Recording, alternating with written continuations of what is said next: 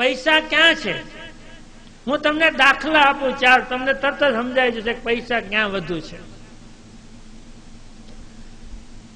આપણે મજૂરને કામ કરવા લઈ આવે, રોડ અહીંયા ખોદવો છે, ગટર નાખવી છે, તો એક મજૂરને કામ કરવા લઈ આવીએ તો એક દિવસની મજૂરી કેટલી આપીએ?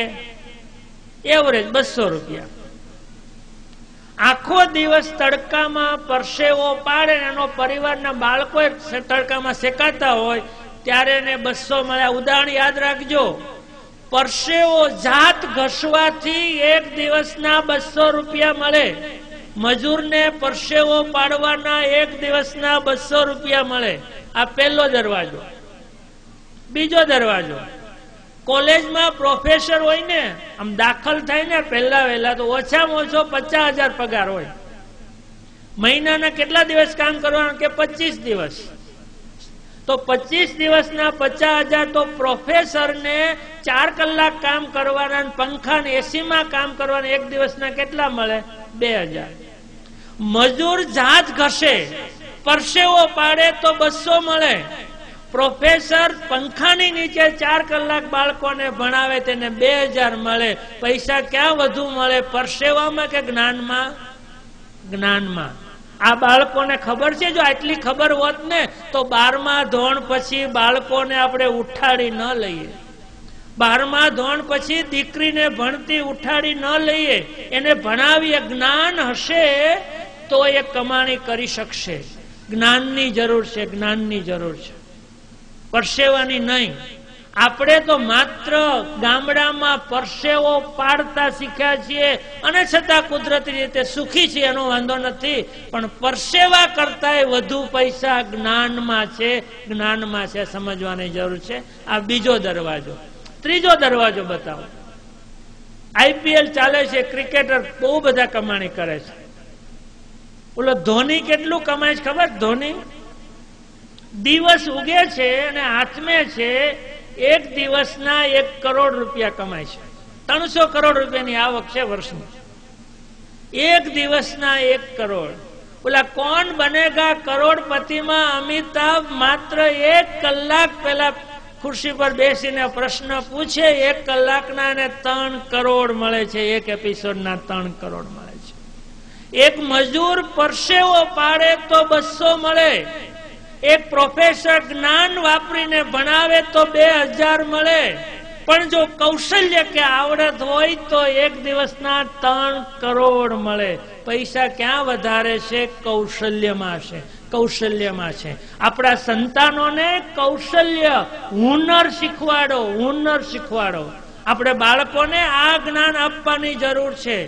અને જે માં પોતાના બાળકોને આવા વિચારોની સ્પષ્ટતા કરી શકે, એના બાળકો કૃષ્ણ ભગવાન જેવા થઈ શકે, બાકી કાંઈ ન થઈ શકે. આ સમજવાની છે. અમારે સુરતમાં જનતા એપાર્ટમેન્ટ ઘણા બેઠા છે. જનતા એપાર્ટમેન્ટમાં દાદા એક બેન રહે છે. એ બ્યુટી પાર્લરનું કામ કરે છે, બ્યુટી પાર્લરનું કેટલું કમાતા ખબર? વર્ષે એક કરોડ રૂપિયાની બેનને આવક છે, એક કરોડ રૂપિયાની આવક છે. જનતા પણ સામાન્ય દીકરી છે, ભણેલી, સાત ધોરણ નહીં હોય.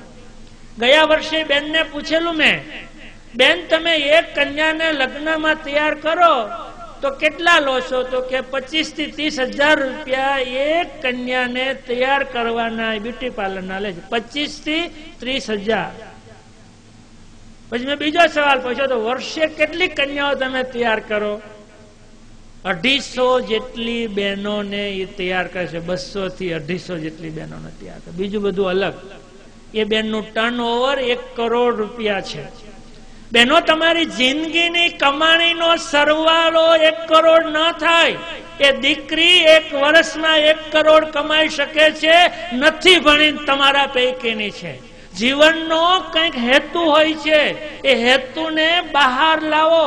માત્ર જન્મીને પ્રાણીઓની માફક મરવું નથી, એક માણસની માફક, કૃષ્ણ ભગવાનની માફક બધા કર્તવ્યોને શ્રેષ્ઠ રીતે પૂરા કરીને જીવન જીવવું જોઈએ. એવું કૃષ્ણ ભગવાન કહે છે અને એટલે કૃષ્ણ ભગવાનની કથાના માધ્યમથી આ સતાશ્યા પરિવાર તમારા સુધી આ વિચાર મૂકે છે. આ ત્રીજો દરવાજો એક કૌશલ્યનો. હમણાં ચોથો દરવાજો ખુલ્લો છે. એમાં જવું હોય તો દીકરાઓને તૈયાર કરજો. ચોથો. અહીંયા કથા હાલે છે તો મારા એ ફોટા હોત પડી ગયા મારા ઘરે પહોંચી હોત ગયા છે.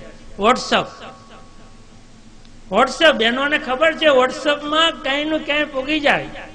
બે મહિના પહેલા વોટ્સઅપ નાનકડી કંપની છે. આ વોટ્સઅપ જેને શરૂ કર્યું એ અઢાર અબજ ડોલર, સોરી, ઓગણીસ અબજ ડોલરમાં વેચાણી છે.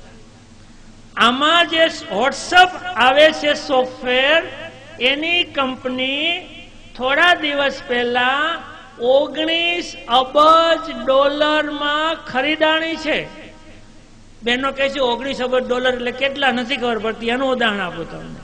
ભારતમાં સૌથી વધુ પૈસાદાર માણસ મુકેશ અંબાણી, રિલાયન્સ. એની સંપત્તિ અઢાર અબજ ડોલર છે. આ વોટ્સઅપ ઓગણીસ અબજ ડોલરમાં વેચાણું છે. એક આઈડિયા કેટલું કમાવી શકે? હવે તમને ખબર પડવી જોઈએ કે પૈસા ક્યાં છે? પરસેવામાં છે, જ્ઞાનમાં છે, કૌશલ્યમાં છે, એકાદા આઈડિયામાં છે. જીવનમાં જો છોકરાઓ કીધું આઈડિયામાં છે. બસ આટલી ખબર પડી ને તો મારી કથા સાર્થક છે કે જીવનને હેતુપૂર્વક જીવો.